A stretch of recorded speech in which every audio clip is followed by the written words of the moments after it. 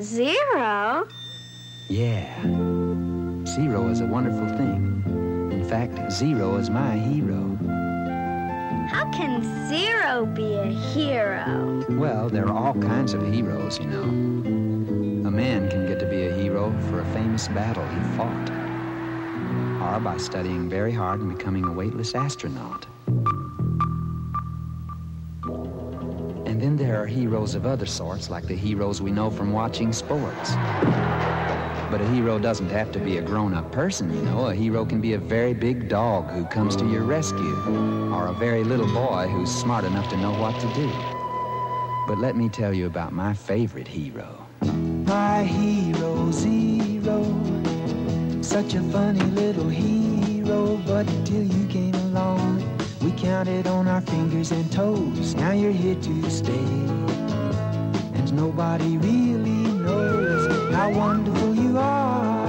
Why we could never reach a star without you, Zero, my hero. How wonderful you are. What's so wonderful about a zero? It's nothing, isn't it? Sure, it represents nothing alone. But place a zero after one, and you've got yourself a ten.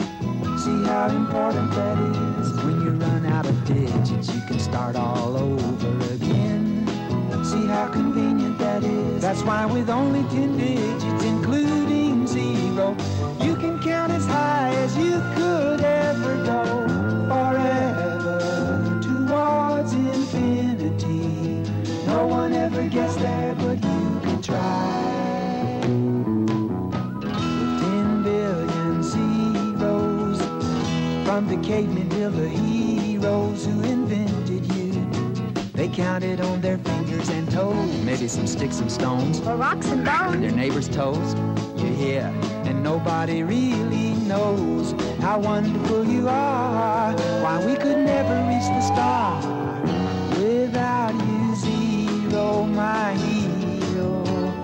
Zero, how wonderful you are. Place one zero after any you've multiplied that number by ten. See how easy that is. Place two zeros after any number, and you've multiplied that number by 100. See how simple that is. Place three zeros after any number, and you've multiplied that number by 1,000, etc., etc. Ad infinitum, ad astra, forever